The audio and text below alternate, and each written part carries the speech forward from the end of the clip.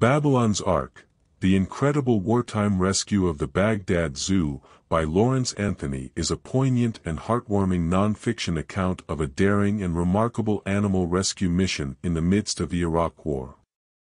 Anthony, known for his work as a conservationist in his earlier book, The Elephant Whisperer, takes readers on a gripping journey to save the animals of the Baghdad Zoo, shedding light on the horrors of war and the resilience of both humans and animals.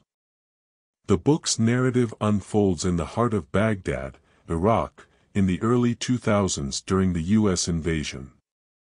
Anthony, an experienced conservationist, is unexpectedly called upon to lead an audacious mission to rescue the animals trapped in the war-torn city. He is confronted with the immense challenge of saving the lives of a wide variety of animals, from lions and tigers to bears and monkeys, all of which are caught in the crossfire of a devastating conflict. The narrative structure is compelling, offering a unique perspective on the Iraq War. Anthony's storytelling skillfully interweaves the personal experiences of those involved in the rescue mission, including soldiers, veterinarians, and local Iraqis. This multifaceted approach gives the reader a more comprehensive understanding of the challenges faced by all parties and the remarkable spirit of collaboration that emerges in the direst of circumstances. One of the most remarkable aspects of the book is the emotional depth it achieves. It delves into the individual personalities and stories of the animals, which adds a layer of empathy and connection to the narrative. The reader becomes emotionally invested in the fate of these animals, as they each have their own unique struggles and personalities. This element of the book not only tugs at the heartstrings but also underscores the importance of preserving our planet's biodiversity.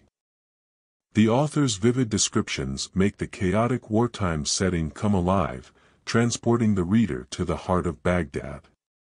His writing is evocative and immersive, allowing readers to witness the devastation, chaos, and resilience of the people and animals in the war-torn city.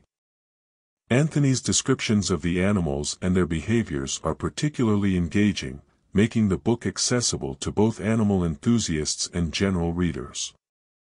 Babylon's Ark also delves into the ethical and moral dilemmas faced by those involved in the rescue mission. Should limited resources be used to save animals when human lives are also at risk? The book raises thought-provoking questions about the value of animal life in the context of a humanitarian crisis. It challenges readers to consider the significance of preserving the natural world even in the face of human-made catastrophes. The book excels in highlighting the power of individuals to make a positive impact during times of crisis. Lawrence Anthony's unwavering determination and compassion, combined with the dedication of the people he works with, demonstrate the potential for humanity to rise above adversity in adversity. The narrative also emphasizes the importance of international collaboration and cooperation in the face of global challenges. While the book primarily focuses on the rescue mission, it also touches upon the broader issues of wildlife conservation and the devastating consequences of war on both human and animal populations. Readers gain a deeper appreciation for the interconnectedness of all life on Earth and the responsibilities we hold in preserving it. Despite the many strengths of Babylon's Ark, it's important to note that the book may not be suitable for those seeking an in-depth analysis of the political and military aspects of the Iraq War. The narrative primarily revolves around the animal rescue mission, and while it provides glimpses into the war's impact on the city, it does not offer an exhaustive exploration of the conflict's complexities. In conclusion, Babylon's Ark, by Lawrence Anthony is a compelling and emotionally charged account of a remarkable animal rescue mission in the midst of war. It successfully combines elements of adventure, empathy, and ethical reflection. The book stands as a testament to the resilience of the human spirit and the enduring bond between humans and animals.